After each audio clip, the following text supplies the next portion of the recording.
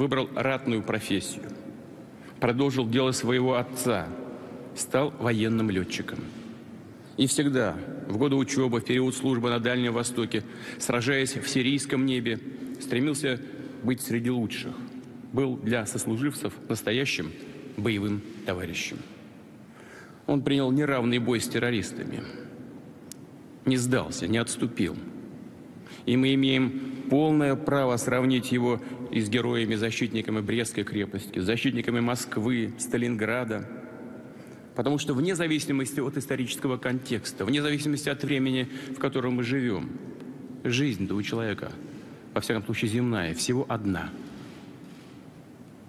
Если человек готов идти до конца, пожертвовать собой в интересах своего народа, то это и есть высшее проявление личного мужества, героизма, преданности своей родине.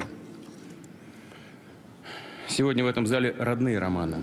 Это его родитель Елена Викторовна и Николай Серафимович, его вдова Ольга Сергеевна. Для близких, друзей, боевых товарищей гибель Романа – невосполнимая потеря. Мы все скорбим вместе с вами и разделяем эту, эту боль. Низкий поклон вам. Спасибо за то, что вы воспитали отважного, достойного сына, русского офицера, сына своего Отечества. Слово взял и отец Романа Филиппова. Он рассказал, что его сын, отправляясь в Сирию, понимал, на что он идет. Его мечта Роман с юных лет мечтал стать военным летчиком.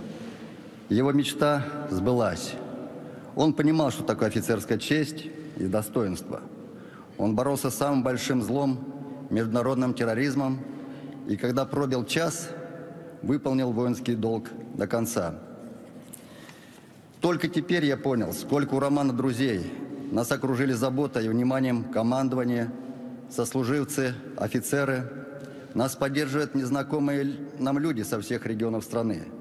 Спасибо всем за это. Я горжусь своим сыном, я горжусь нашей армией, я горжусь нашей великой родиной Россией. Но Владимир Путин в своем выступлении отдельно подчеркнул, что сильная армия сегодня – залог стабильности и мира в нашей стране.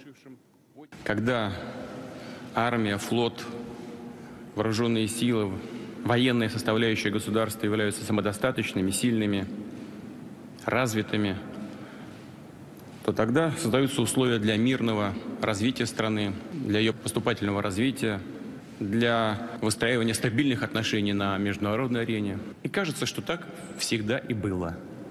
Кажется, что это нормально. Но стоит только ослабнуть вооруженным силам, появляются такие проблемы, о которых мы никогда не задумывались.